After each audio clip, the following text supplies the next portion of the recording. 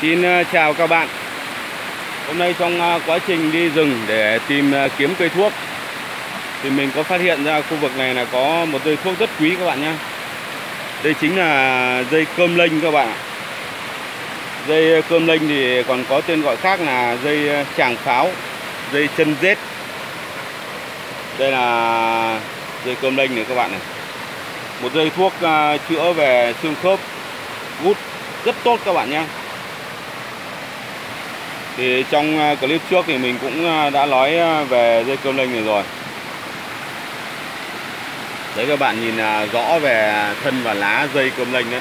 Dây cơm lênh này thì nó nó bò trên một cái tảng đá nhá. Bò trên một tảng đá.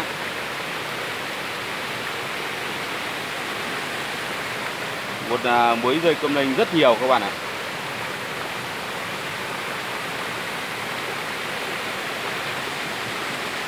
Nếu mà bạn nào mà cần cái ờ, vị thuốc ờ, dây cơm lênh này để mà chữa căn bệnh xương khớp hoặc là bệnh gút, thì các bạn à, liên hệ với mình. Số Zalo của mình là 0975 360 719 mình sẽ à, gửi cho các bạn để các bạn à, dùng. Xin chào tạm biệt các bạn.